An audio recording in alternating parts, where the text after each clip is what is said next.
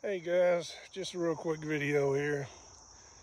You know, doesn't it seem kind of funny to you that now they're going to give money to all these Black Lives Matter, which will also include Antifa, and how all these anti-gun people seem to have a problem with ARs and gun rights.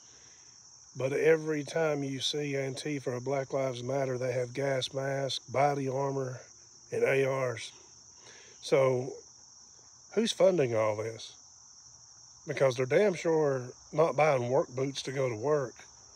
So is that why they've decided to pay this money? I mean, to me, it looks like a setup.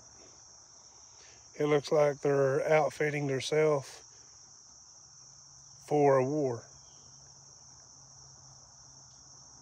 You know, if you if you want to ban ARs, why not ban body armor? Who needs body armor? And every time you see Antifa or Black Lives Matter, especially Black Lives Matter, they've got gas masks, they've got AR-15s. You know, why? And now they're going to pay them all this money in all these different cities so they can arm themselves better for the next rights.